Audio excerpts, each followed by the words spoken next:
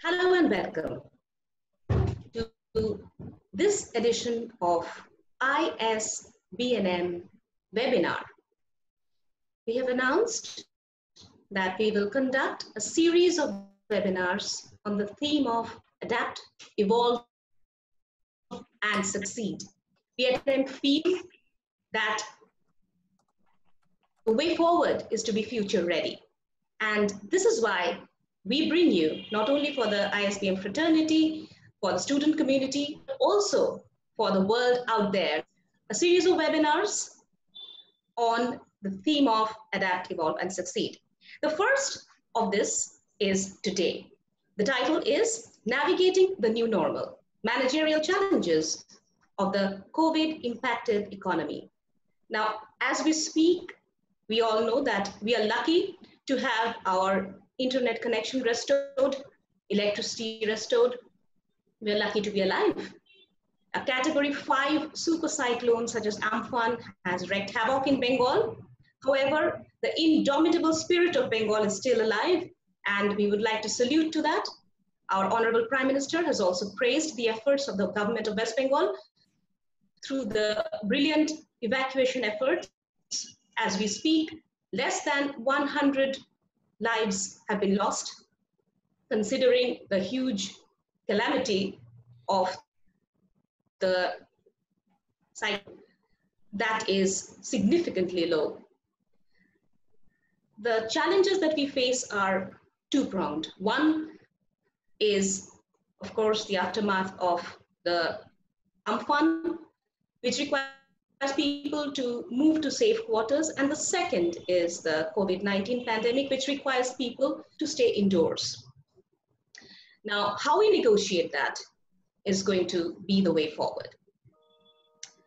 We have with us Mr. Nilendu Mukherjee, veteran corporate banker with over two decades of experience Currently, he's working as an executive director and senior relationship banker with Rabobank.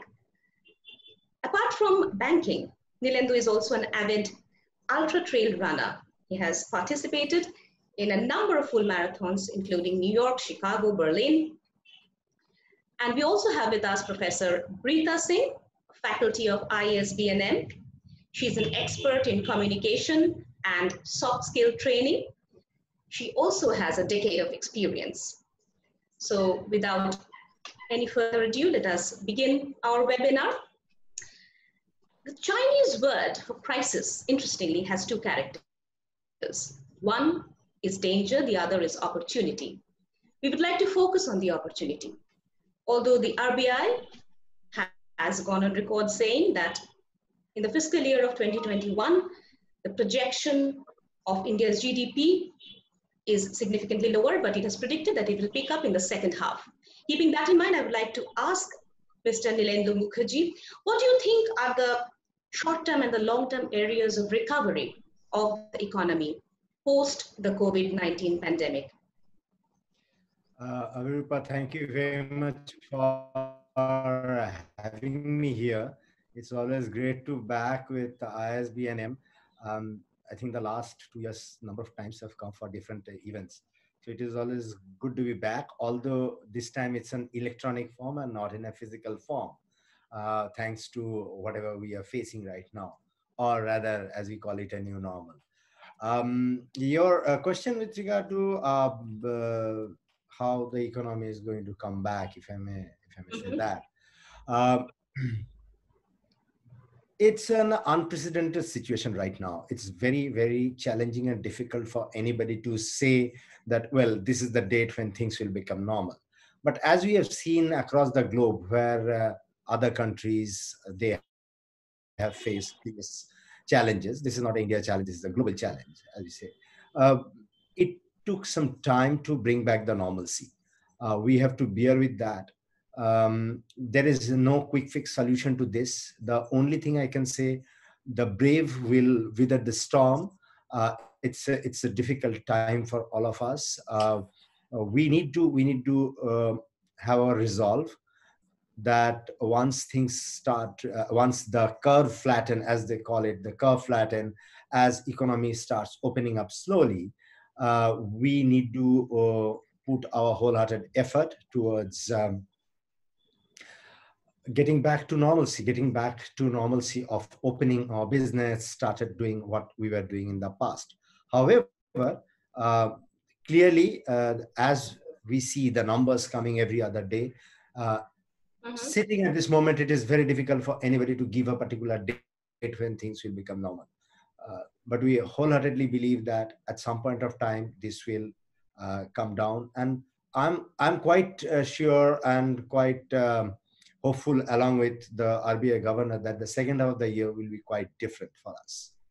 If we talk about the specific sector uh, where government is looking at or banking on or terms only money but inspection as well what do you think are the sectors where revenue will be generated or where it is expected to give returns of course it's a global pandemic we understand and each country has to deal with it in its uh, own way.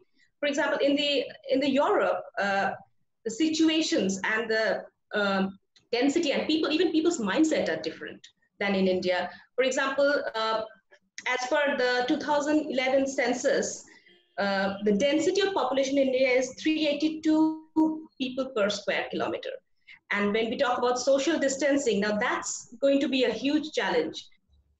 We are also talking about uh, the new normal where you know uh, a third of the workforce may be put to work and the rest are expected to work from home. Twitter has gone on record saying that it will give the option of working from home indefinitely to some of its employees. I think um, even Facebook uh, CEO has said that today. So in view of this new normal, what do you think specific to India? What are going to be the sectors or the growth areas, the focus areas of recovery? Okay. Um, very clearly, we have to um, start from the basic stuff. When you open the economy, what are the basics? Even when during COVID, there are few sectors which are working, which are performing. Okay. Uh, what is the one of the most basic need of human being? Eating food, right? So clearly, food and agri is one of the sectors which will uh, which will weather this storm much faster than any other sector because we need to go we need to go out and buy our vegetables. We need to go out and buy our groceries. Those are essential items uh, government very clearly says even during this curfew or, uh, or the lockdown you can go out and buy vegetables. You can go out and buy your groceries so, so that food and agri sector per se is the first sector which will come out of, or rather, it is not even majorly impacted, if I may, if I may use that word. Uh, and in anything. India, in India, 43% of people depend on agriculture, which is huge. Which is, if you're looking at that sector to recover, I think it's a major hurdle. Is already we are looking at a brighter side. Yeah, but you need to keep in mind that you know uh, uh, that it is not that easy either you know um, so uh, food and agri is uh, very easy to think about what just you eat but food and agri sector is a, quite a wide uh, definition. Uh, it starts from seeds fertilizers it's there in in in your different kind of grains and oil seeds animal uh, protein then you've got dairy then you've got processed food industry and the most important the last two uh, thing which is logistics as well as uh, packaging. Now while you can uh, you can during during this entire lockdown situation in that uh, all other all other parts of the food and agri is working out. But uh, one of the bigger challenge was uh, the logistics part. Because um, i'm just giving an example. A truck full of onion can move from nasik to delhi. Now he unloads those onion in Delhi. Can he come back? He cannot come back to Nasik till he gets another essential item loaded in his truck. Right? So, so these are to make it viable and sustainable. Yeah. So, so there are challenges. There are. Uh, it's not easy, but what I try to say is that relatively, this is one sector which will come back to normalcy much faster. Then, obviously, uh, the next item comes in my mind is pharma sector. You know, uh, that's something which you cannot ignore, right? You need medicines, you need all other um, stuff which is linked to pharma sector. Third, obviously, uh, sectors which, which can thrive even through uh, you know distance, if I may use that word. Um, IT and ITES. Right, the service. This sector. is another sector. Yeah, uh, so uh, these are the three sectors which comes in my mind, which are uh, supposed to do well, which are supposed to recover much faster than any other sector. Uh, once uh, these things comes on normalcy, uh, then I think slowly every other sector will, will come back. you also touched upon um, on the, on the fact that you know work from home and stuff like that it's it's it's a new revelation uh, for a lot of uh, non IT uh, sector employees like myself to to partially enjoy work from home the initial stages and then not so much now. Maybe i'm getting a work from home fatigue now. Um, but um, that is that is that is going to have a profound impact on uh, on a lot of people especially uh, for people who uh, uh, Uh, uh, never thought that you can you can get a decent output even while working from home. This will change your outlook towards uh, uh people when they are into difficulty, like you know a pregnant woman. Um, I have seen I have seen in 10 years back when a woman is pregnant, almost a year is gone for her career. Now we can't even think that even when she's pregnant, she can very well work from home. People who have got ailing parents at home, they had to take you know sabbatical for three months six months to take care of their aged parents. Now that's not required. You can still work from home. And those are the things i think acceptance of the fact that people can work from home they can deliver results is a great great great learning from this whole entire you know uh, covid situation. Very interestingly said. In fact, uh, a lot of IT and ITES companies have actually recorded uh, increased productivity uh, in in the work from home situation. They have said that uh, people have put in more efforts, more hours. In fact, uh, the IT or the service sector contributes to 55% of India's GDP, which is uh, again a huge number. If you're looking at uh, developing that sector, then again we are looking at an opportunity rather than a crisis here. There are uh, very important uh, learning from this situation. Uh, as you said, I would like to quote Satya Nadella, who has uh, today, he has said that work from home situation can be good or productive for some time, but if it continues over time, it may not be a, a very good idea. In fact, as, as, you said, it can lead to fatigue. So there has to be a balance or negotiation between the two, which brings us uh, to the second question, which is the new managers who are going to be working uh, and spending their work life in the new normal situation. Now, what exactly those are going to be, we are not very sure, but we definitely know that it's not going to be the same set of skills that they have learned, uh, which are going to be as uh, productive. They need to probably and maybe new skills to be more effective in the new normal. So you, uh, I would like to ask uh, Mr. Mukherjee, since you have been uh, working with people, you've been uh, leading teams. What do you, what are the expectations that you have as a supervisor, or what do you think are the skills that new managers need to learn, and the, the old skills they need in the new? Well, um, my answer might be a little not very interesting or not very encouraging uh, because I believe that the basic managerial skills remain same whether you are uh, in a COVID situation or you are in a non-COVID situation. Uh, to my mind, the three major qualities which we'll certainly like to see in anybody are uh, very broadly speaking is morality, courage, and empathy, if I may use those three words which are very close to my heart. You know you may you may learn a lot of skills you know technical skills number skills a uh, lot of uh, textbook uh, learning etc etc but if you do not have these three things in you as a manager whatever be the situation you'll never succeed. You know if you are not uh, if your integrity is not to the highest standard if your morality is not to the highest standard if you're not doing the right things then you are uh, obviously not um, going to succeed in life. And immediately with that, what comes is courage. Uh, these are very interlinked. You know, you need to have the courage to take risk.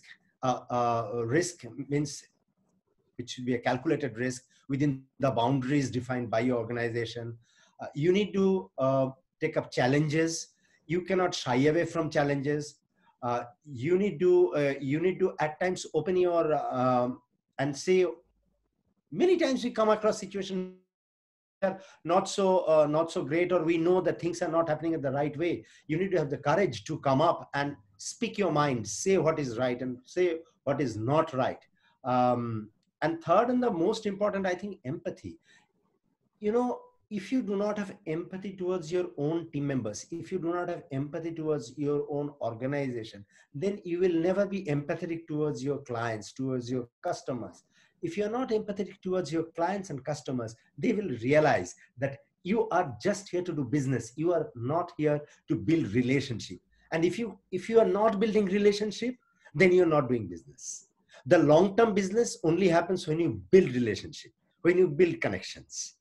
So those things, those broad things don't change. Only during this time, what I keep telling people that you need to build resolve that and have faith in yourself that you can deliver. You can come over these difficult times. Also what needs to be inculcated during this time is you will get you know since you're working from home or you are you're getting some more time. I'm just giving an example typically on a regular day my travel time to my office and back is close to one and a half hours if not more so i'm saving that clear one and a half hours so that yeah. incremental one and a half hours how i am utilizing am I learning new skills? It can be any damn skill. It can be learning a new language. It can be learning a new coding system. It can be learning or, or getting into an online course of a new way of marketing, uh, you know, consumer products. There are so many uh, resources available in the internet. Just use that. That's number one. Number two, within your own business line, think what are the things which you used to do which were not very efficient and how you can increase your efficiency apart from those three broad qualities what i encourage everybody during this time when they have got extra one and a half hours to two, two hours during the day are they applying themselves? Are they thinking about business? Are they thinking about the client? Are they thinking about how to do business better? Are they improving themselves? Are they finding out what are the gaps in their own own uh, skill set? Are they improving on them? This is a great time to build those skill sets. I, I think it's a, that addresses perfectly it addresses perfectly. I think the key thing that that has come out is introspection and making the most of the resources that we have be in terms of time be in terms of any other resources. Uh, which is an interesting part which will lead to the which automatically uh, leads me to ask the next question. And this is both to you and the professor Brita Singh. So in this new normal as you say that uh, you're expected to work from home with a new set of expectation new skills. Now what do you think are uh, the in terms of soft skills and etiquettes what are the things that are required say for example uh, as you said like apart from IT and ITES sectors, a lot of other sectors who were not accustomed to working from home, suddenly when they're expected to learn a new uh, technology and apply it, what uh, automatically goes to the back seat is the presentability or uh, your etiquettes. Now, a lot of, I have heard from friends uh, in the corporate sector, they have said that, you know, people have started attending meetings in their home clothes, in their pajamas. So uh, now that was something completely new, and it was not, uh, uh, people didn't know what to do. Uh, for example, working at odd hours, people calling up at uh, that they will be 24/7 online. So even that uh, has to be, you know, has to have a some kind of structure. Or uh, so both to Professor Brita Singh and Mr. Mukherjee, I would like to ask uh, maybe Professor Brita Singh to begin with. Uh, what are the etiquettes do you think uh, that is required in this new normal for the managers?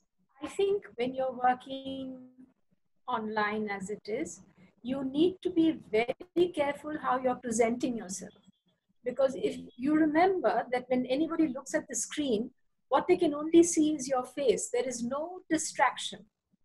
Whereas when you're standing face to face, there are people walking past, there could be pictures, there could be noises, but here the concentration is entirely on you. So you have to ensure that you present yourself in the best possible way. Wearing pajamas is going to make you lethargic in your in the way that you behave because you need to be attentive you need to be on the ball you cannot lag behind so you know getting into your office clothes or getting into something formal changes your entire attitude as to how you speak how you sit how you talk to somebody so I think we need to be more careful. Again, I think a lot of people feel that, oh, great, I'm going to work from home. So that means it's holiday time. Actually, it is you, the eye. I mean, people are looking at you because they can actually track what work you're doing and how you're doing. So it's not as though you can say that this, I'm working online so I can suit myself especially those who are interacting with customers, you have to be available for them because that's why you're there. So working at, from home needs you to be even more correct in your etiquette than before, being even more clear in how you communicate. And as Nilendu said earlier, empathy is really the key here. Because when you're dealing with other people, you have to understand that everybody has problems if you take today, because of the cyclone, a lot of us didn't have internet connection, electricity, all kinds of things.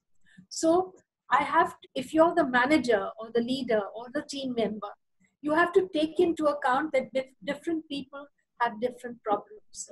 There are people who have their children locked up at home with them, and the children are not used to being locked up. They've got this boundless energy, and they are they want to use it in one way or the other. So they could very well be photobombing your session. But the other person has to understand okay, he's working from home, he's working, never mind the photo bombing, but is he getting his message across? Is he working? Is he able to do so correctly? And as Nilendu said, this is the time it's very important that you keep up the technology and look at how work is being done in other countries as well as in India. Recently, there was a survey of 370 CFOs who said that working in India, I working from home has worked out very well.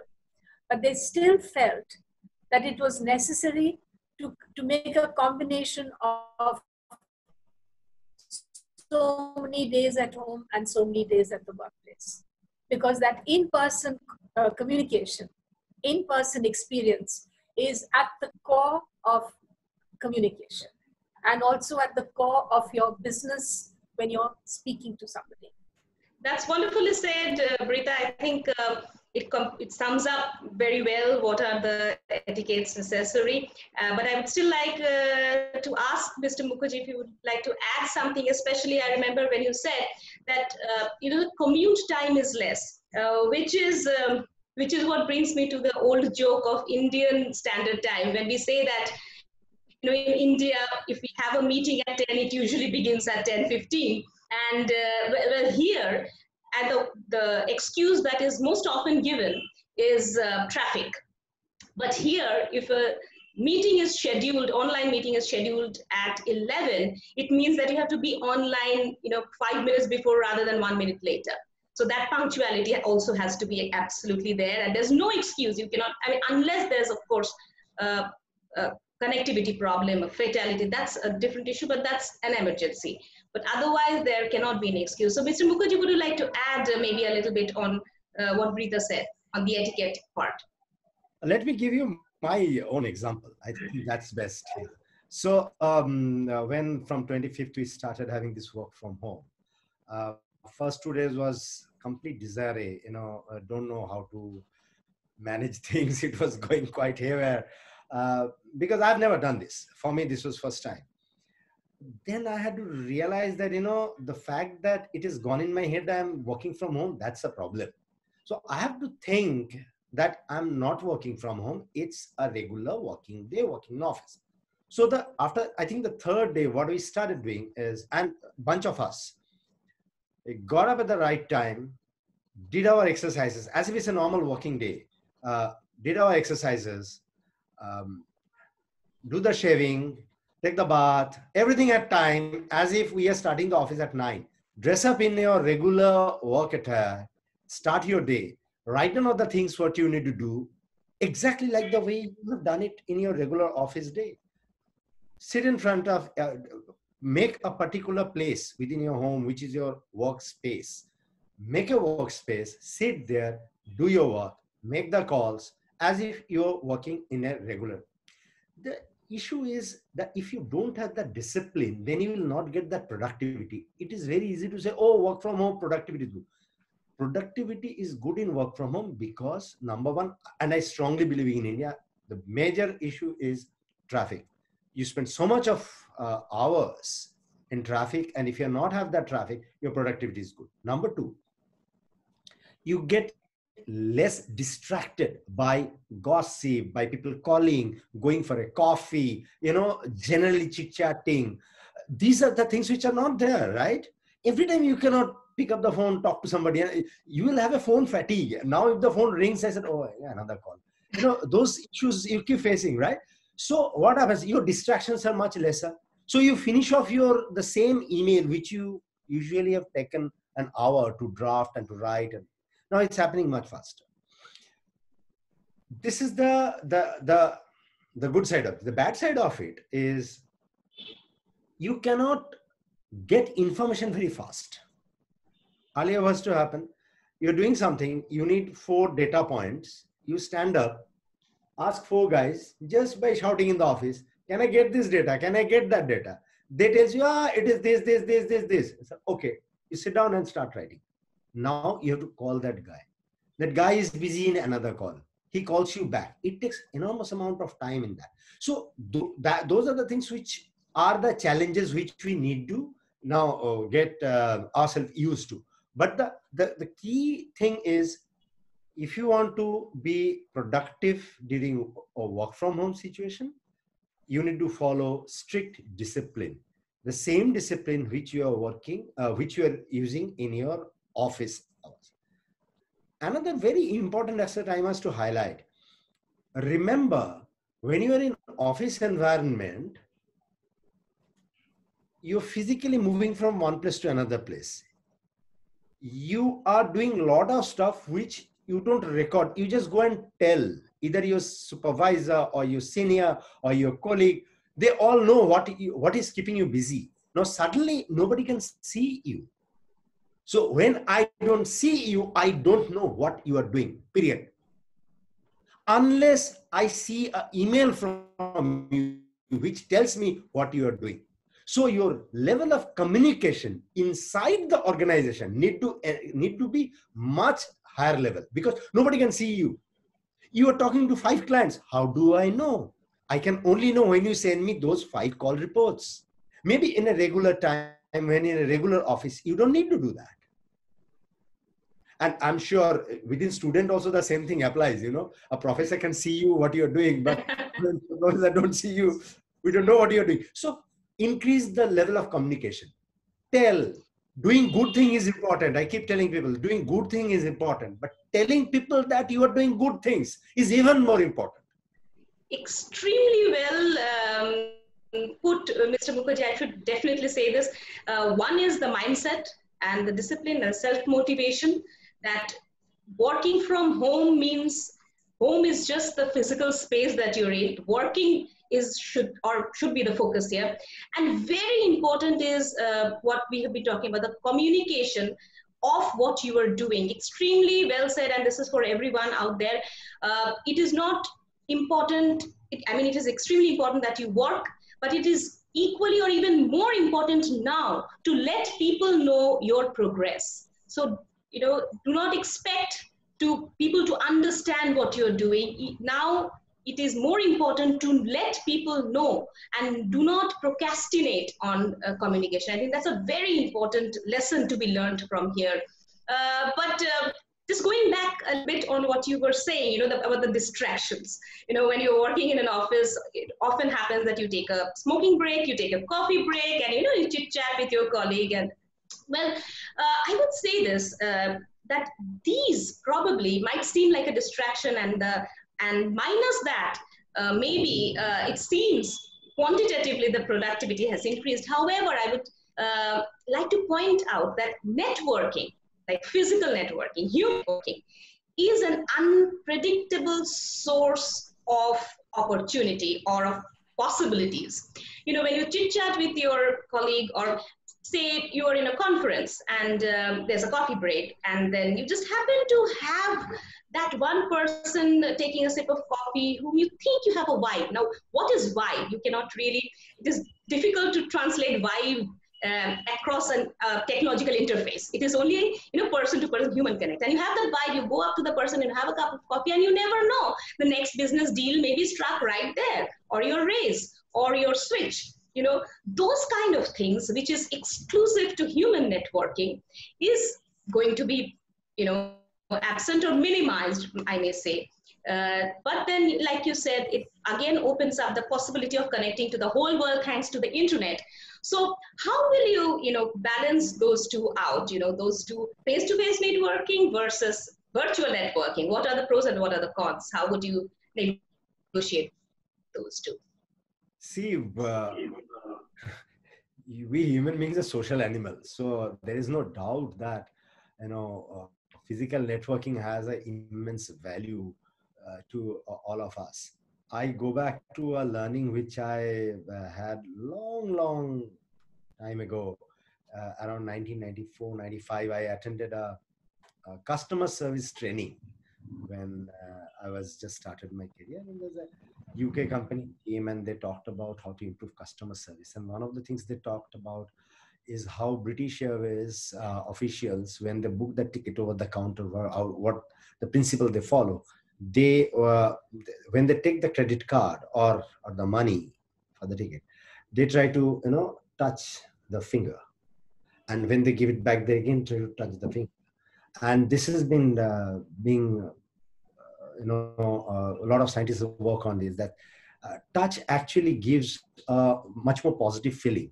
Uh, human being like touch um, i know there are a lot of negative touch and those things have come up over the last um, for some years and there are some right touch wrong touch etc i'm not getting there but it's important that we, we like that touch. Um, i was telling somebody a few days back that a lot of neurons are there in, in and around our shoulder. And uh, that's why when somebody holds us on our shoulder we feel comfortable. We feel that this person is close to me so these are the things which are very very important in our in our life. We cannot uh, and this is how we are built. Our, our physiology is like that you know. Uh, uh, we uh, when we see a person in uh, in front of us it's not the face it's the whole body language which makes us uh, understand whether this person is liking my words whether he's listening to me or not etc so there are a lot of things which will be completely missed if we move into a complete virtual world. Uh, I'm just giving you another example. Uh, uh, we have several um, meetings in our office. Are few meetings which nobody wants to attend. You know, those are the meetings which are the most boring, most uh, meeting. You know, now those meetings have become virtual. I see everybody joining. The whole band joins this meeting two three minutes before the meeting starts. So I once called one of those guys who is the most what should i say uh, you know the uh, reluctant the most boisterous of the lot who try to skip all the meetings you know. I said uh, nilendu there's a nilendu there's a question which has appeared in the chat where people when you were talking about touch yeah. they're saying how employers employees because they're working at home and because of the distancing and because of the virtual platform that they're working on, they feel distressed and abandoned. The word used is abandoned. How can and the how can the senior make up for this loss? Empathy would be one of them, but what else could he do to make the junior not feel abandoned? Which is a very, very valid and a, a very, uh, you know, important question. Uh, and I will, I will completely uh, um, relate to this because even at this stage, I at times feel abandoned. If I don't see too many emails coming, if I don't get a call, if I don't talk to people over phone for a very long period of time, then I feel abandoned you know there is no quick fix solution to this. As a senior manager it is the leader. I'll not say there is a difference between a senior manager and a leader. A leader is the person who understands this before he has been told that his team members are feeling abandoned. He needs to go out reach out to individual. It's not necessary that he need to talk about the transaction the deal the client it can be just a general chit chat of three, four minutes. How are you? Are you getting your groceries right? Is there any COVID cases in and around your place? Topical. I think you were just, the, the, example that you were giving, if you could just complete the example, I think that could actually, uh, you know, validate what you were trying to say. That you know, you called up a person who was reluctant to attend a, a, meeting because it was all about numbers and crunching numbers and analytics. But if, when you called up, what did he say? Why did he want to attend that meeting? Because he was he was he said there is at least one opportunity. There is one opportunity for me to connect with you all. Forget the, the, the thing. This is an opportunity to connect. Coming back to uh, thank you very much for reminding me that the feeling of that i am in abandoned. Nobody is calling me. Nobody is asking how am i doing? You know so if nobody is doing that, uh, okay, now everybody, every leader, every senior manager are not same. Everybody will not do that. Then you have to take it on yourself. As a junior guy, if nobody is calling me, then I will call. I will talk. I will tell them what I am doing. I will think that this is an opportunity for me to showcase my performance even during this difficult time. So that answers. So yeah. that answers a question we had whether communication should be employer or employee driven. And you have said it's both ways. Both ways? Absolutely. Everyone has to be even more proactive in terms of communicating. Because like we said, we are we are social people, you know, we are not machines. I mean number crunching, analytics, those are great things but it can be done by machines also. In fact, uh, even probably uh, if you use technology and the technology moves uh, to the next generation, it will probably be even more efficient. You know, but what machines cannot be, will not ever be able to replace is the need for us to connect, need for us to socialize, which uh, brings us uh, to uh, the question of the managers, the, the, the ground bed of the managers, which is, yes, Brita has a question. I, I have numerous other questions here, yep. and they all ask the same thing. And this is for Nilendu. The question is there is a silver lining everywhere, always. It's like the yellow brick road in the Wizard of Oz. Now, what are the opportunities in terms of profiles, jobs, which sectors post the pandemic for graduates, for our new graduates? What are the opportunities which would be there or could be there? I must say this is a very difficult question for me to answer. Um, let me, I, have not th- uh, thought about it, but uh, obviously um, the sectors which I mentioned in the past, which will come back very strongly, uh, those sectors remains to be uh, the, the key sectors where people will find uh, more uh, more easier to move into. Uh, um, there are a lot of effort uh, I understand government is giving on this entire Make in India story.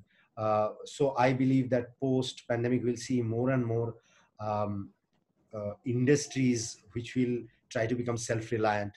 to my mind, anything to do with um, health and medical will be one of the very very key sector we will see significant amount of growth in that area our uh, uh, uh, overall expenditure on health is abysmally low as compared to other sectors where we where we spend say for example defense and others so i will see with this covid there'll be more expenditure uh, or, or more capital flowing into health and health related sectors. So that is a very, very key sector to, to keep in mind.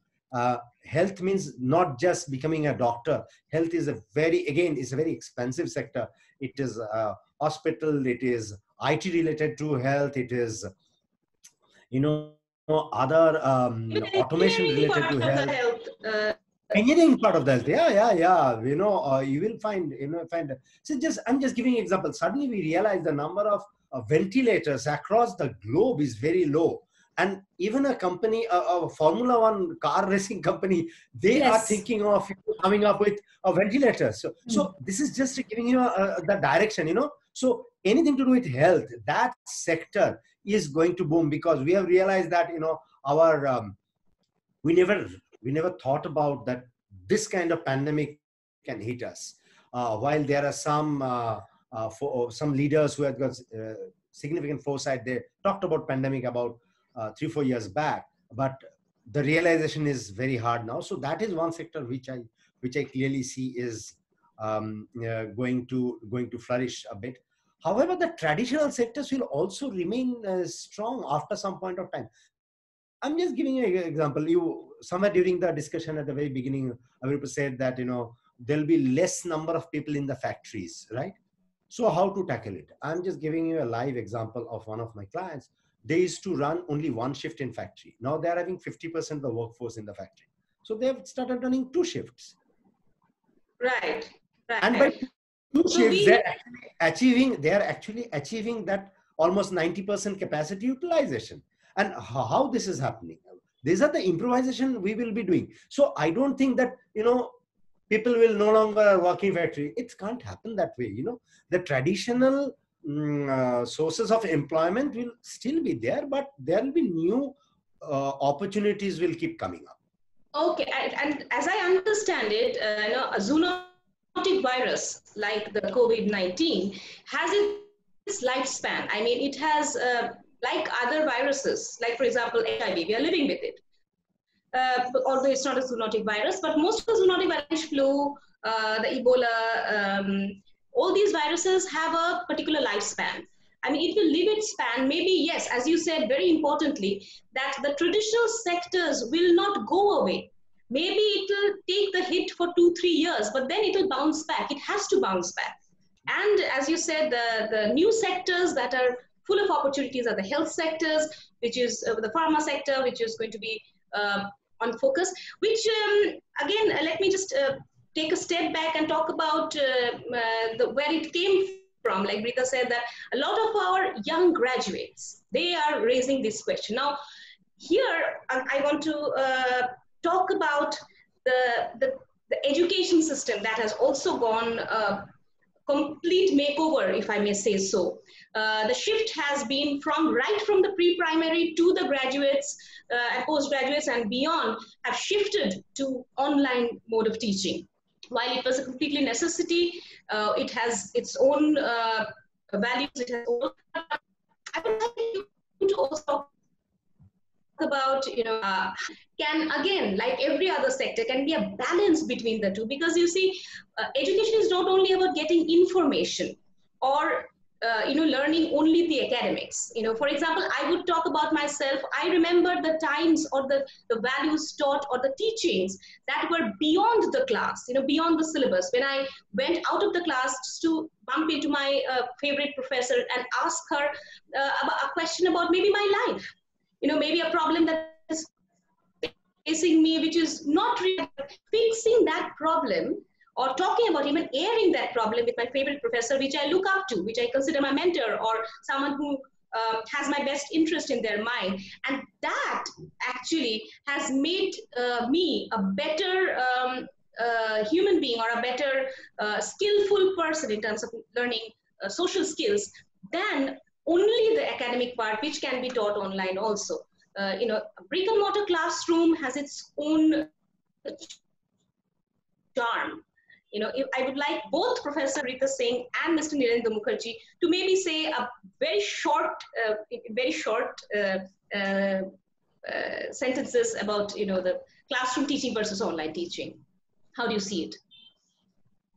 The in person experience is unmatched by virtual classes. It, it, it can't be. You can't compare the two. You know, there is a huge degree of spontaneity when you are taking class yourself and you're standing there and you actually walk up to a student, address a remark to a particular student, ask a question. That kind of informality and flow of conversation cannot be replaced by teaching online. This, uh, this teaching online is more a lecture. I give a lecture, or you teach, or somebody teaches, whoever it is, and then you uh, sort of the questions come up. But there isn't a, the, the flow isn't there, the continuity isn't there.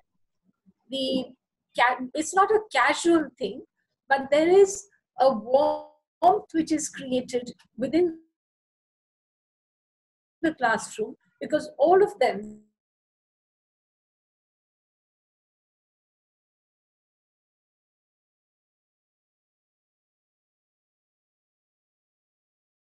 when he said that you know managerial skill is not only about crunching numbers it is about learning empathy learning values which are going to last in the long run.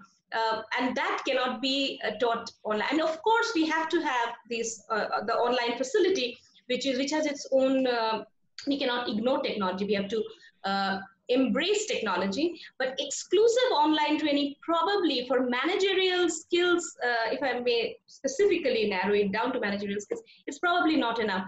Would you uh, like to add to this, Mr. Mukherjee? Uh, I think you both of you have said a lot about it. I'm completely. I have another question from uh, uh, people who are joining I... in. Okay. Yeah, please go ahead. Oh, okay. So, so the only thing I will say that uh, it's nice to be online, but we always know online is very cut and dry.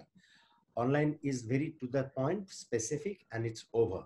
What online misses is the anecdotal stories, which only happen when we sit across, when we talk with each other in a uh, classroom environment. I have seen in a lot of classroom environment, a lot of new stories come. And remember, the I strongly believe the most of the learning which we get are from stories, not from the theories. The theory gets applied into a story, and then the story has been told to us. Then it, I remember the story, and when I remember the story, I remember the theory.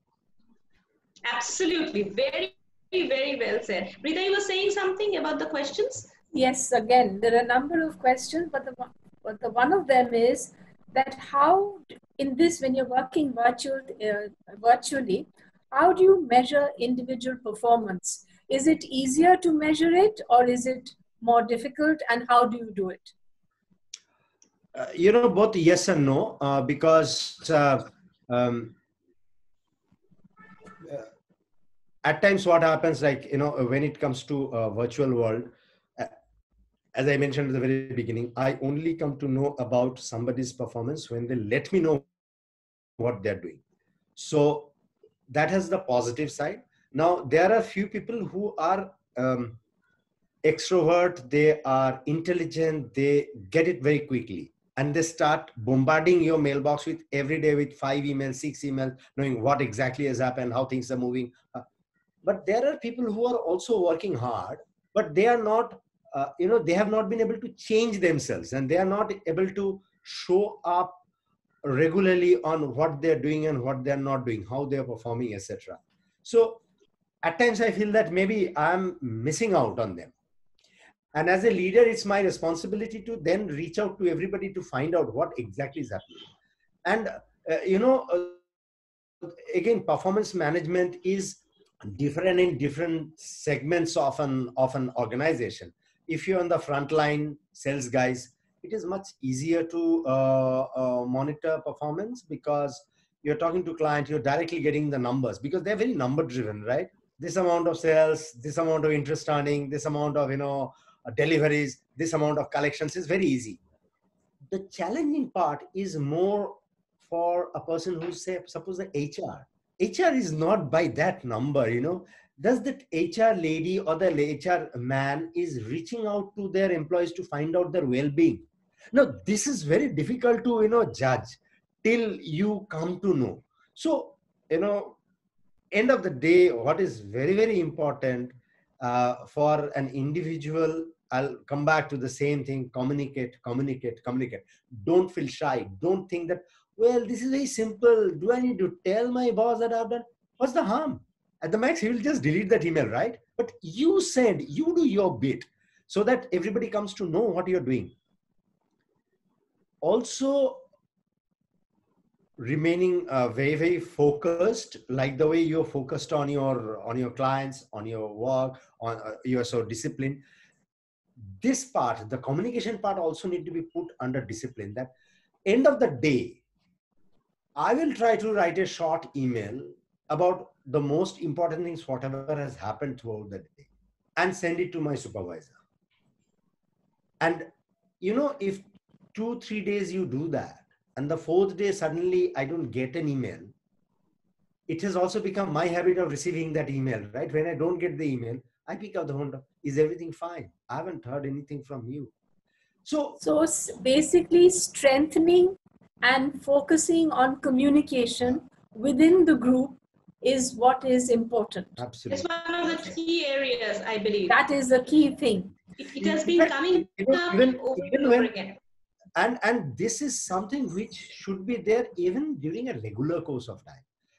Uh, and this is something which i've told two things i keep telling uh, people a lot. One uh, if you don't tell me i never know what you're doing number one. Number two if you don't ask things from me i may not give it to you and there's a very old old saying that you know mom gives milk to the kid only when the kid cries, right? When he or she starts crying, mom knows, okay, that person is hungry, that kid is hungry. So right. I need to see the hunger. You need to come and tell me, right? That I have done one, two, three, four, five. I want to do seven, eight, nine, ten, but I'm not getting the opportunity. Give me the opportunity.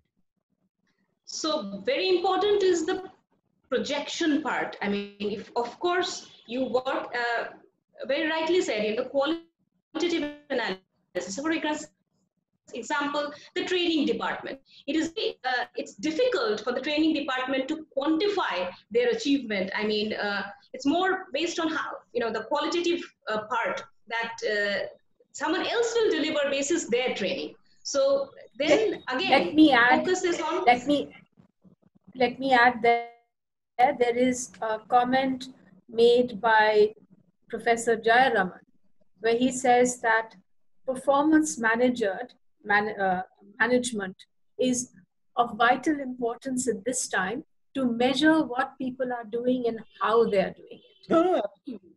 This is from Professor Jayaraman at the Nande campus. Thank you, Professor Jayaraman. I think it's very important uh, that you said how, part uh, you know that is what I think uh, Professor uh, uh Brita Singh wanted to highlight what he has said actually, what he has said actually is there are many instances of employees misusing such flexible arrangements.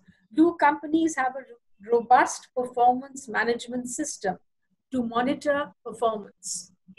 I think Nilendu has already addressed that. I will also add one line to that. You know, uh, uh, I have a bigger issue with that uh, statement where he's saying that people misuse. Yeah, people do misuse, but then I will take the entire blame on me as a leader if one of my team team members are misusing. Two aspect. Number one, then I have not taken the right person. I have not groomed him right.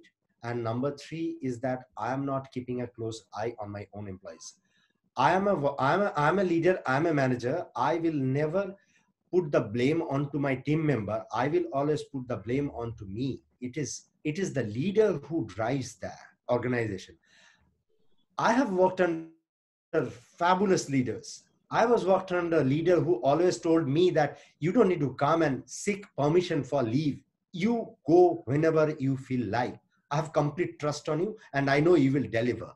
That gives me enormous amount of responsibility and ownership of my own job right? And and he i've seen him. He is brutal. He is brutal when people have not performed. So it's again the way the leader controls.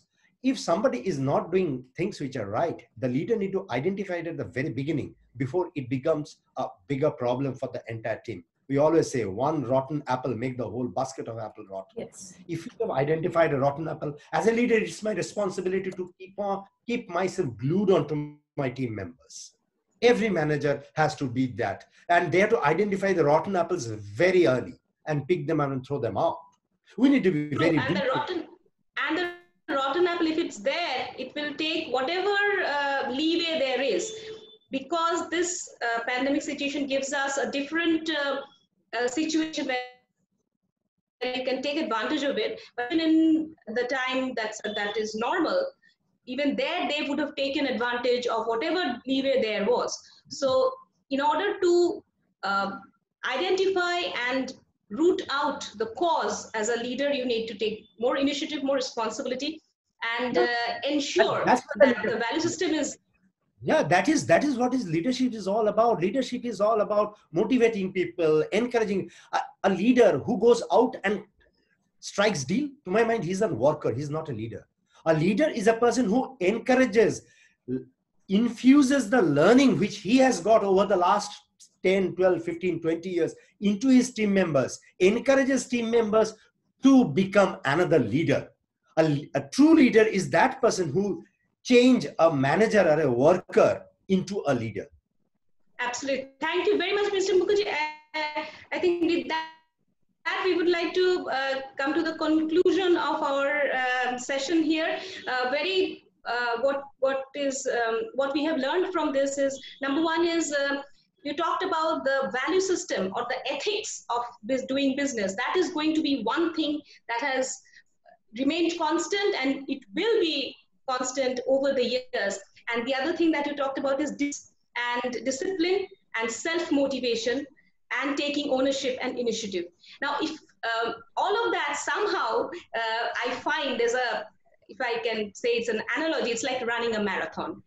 And I think you would be able to better say that, you know, all of that, yeah, uh, the, you know, the resolve, the self motivation, the discipline, and of course, um, you know, the, the ethics that uh, that you promise to yourself needs to be there for running a marathon. If you just talk about before we end this session a little bit about your marathon running experience, because of course it will not be the same. I mean, uh, I don't know about uh, uh the sporting uh, world, but I'm sure you will be able to tell more. You know, what is the future, and how do you see yourself as a runner?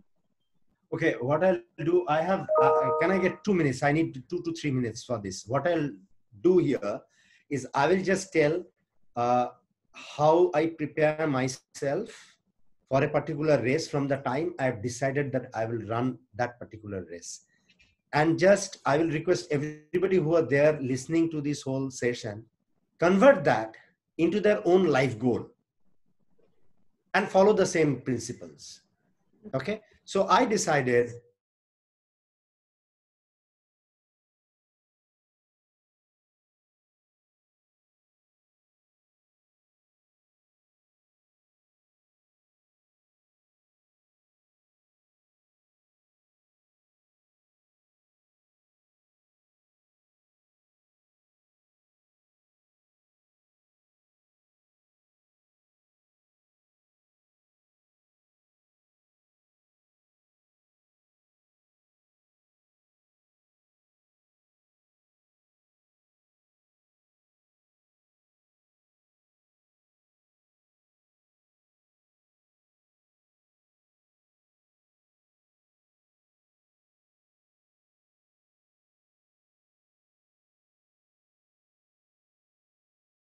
yeah. You know that the resolve comes in you. You feel like you don't know no negativity. You think that i'm going to do this. Nobody can stop me doing this. I'm doing the right thing. I'm taking all the necessary um, uh, training what is required. I'm taking care of my body. I'm taking care of my food. I also went to a nutritionist to have my proper food. I started practicing my long runs on Sundays using the same kind of food which will be given to the aid stations in that marathon. So that amount of preparation I'm doing, I knew they will be giving me cheese sandwich, chips, coke, So I was eating all those food when I'm running here in Mumbai. So that, that I will not keep any stone unturned. I will make myself ready for the race to the T. Nutrition, physical conditioning, mental conditioning. Remember, this period, you will have setback. February 21st, early morning, I got a call from my wife. My mom has suddenly passed away. It was a huge shock for me. I went rushing to Calcutta. Seven to eight days, I can't even think anything. No training, nothing. I was devastated because it came bolt from a blue. It was, it just shaken my whole thing. On the eighth day, my wife told me, you need to go out for a run. In Calcutta, in Salt Lake Newtown, that Sunday, I think eighth or ninth day, that Saturday or Sunday, I ran 50 kilometers. My wife and our dog were the only two accompanying me, you know, in the car. I realized that come what may, I cannot move away from my target, my target. And this is February and April is round the corner. Very next day, I got back into training. I went back to my coach. I said, keep updating my schedules. I got back to my coaching. On the race day, after 40 years, it started snowing in Croatia. I was not ready for snow. I never ran in snow. I ran in extreme heat. I ran in uh, rain, but never ran in snow. I was struggling at that point of time, which was around 30 kilometers already into the race. One gentleman came beside me, who's a Croat guy. He came and told me, You're from India because somewhere it was written India. I think in my BB it was written India. I said, yes, you're struggling. You never ran on a, on, on a, and there's an uphill in a, in a snow situation. I said, no. He just told me one thing. Boy, he's quite older than me. He was at least 10, 15 years older than me. He said that, boy, this is suffering. And remember, every suffering has an end. Just hang in there. Just hang in there. I slowed down I knew the target time which I had in mind, I will not be able to do it, but I will finish it. I started slow steps. I reached to the top of the peak, which was the Uchka, which is the highest peak in Croatia. And then I started coming down.